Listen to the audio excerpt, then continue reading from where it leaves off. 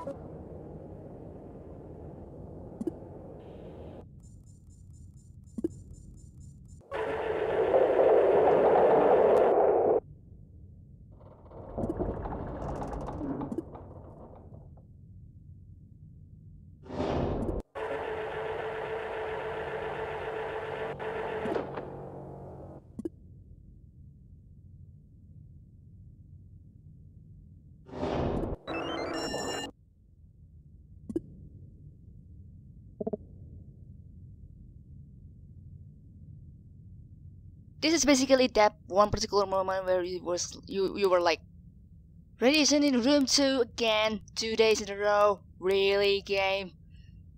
I was like extremely got caught off with that like god there were like two more scraps in that uh, left top corner right that i haven't even gotten. I was thinking about barging in the generator room to sacrifice uh brendan's uh, drone hp bed with the cost of two uh, about 20 points or so I think if I manage to open some doors that has the access to the A3 bit.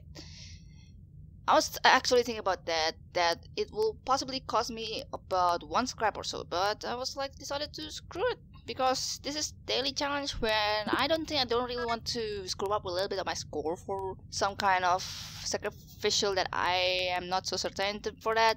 God damn it. Dude, radiation in room 2, you can just get the hell out of here, man.